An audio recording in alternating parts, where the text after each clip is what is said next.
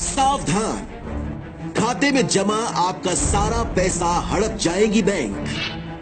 मोदी सरकार के इशारे पर खाली हो जाएँगे आपके खाते। कानून बनकर है तैयार। जी हाँ, देश की नरेंद्र मोदी सरकार अब देश की जनता को एक और बड़ा झटका देने वाली है। पहले नोटबंदी के नाम पर लोगों को बैंकों की लाइन में लगाया और देश की जनता का पैसा बैंक में जमा कराया। अब मोदी जी आपके उसी पैसे को हड़पने की तैयारी कर चुके हैं।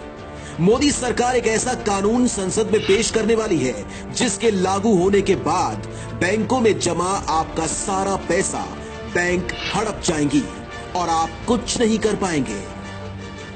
उस कानून का नाम है the financial resolution and deposit insurance bill 2017 आप हिंदू मुस्लिम के नाम पर लड़ते मरते रहिए। इधर मोदी जी चुपके से कानून बनाकर बैंक में जमा आपके सारे पैसे को लेकर रफू चक्कर हो जाएँगे और आप नारे लगाते रह जाएँगे। मोदी सरकार का एफआरडीआई कानून दरअसल एक ऐसा कानून है जिसकी मदद से बैंकों को यह अधिकार दिया जाएगा कि वो आपका सारा पैसा जब्त कर सकती है।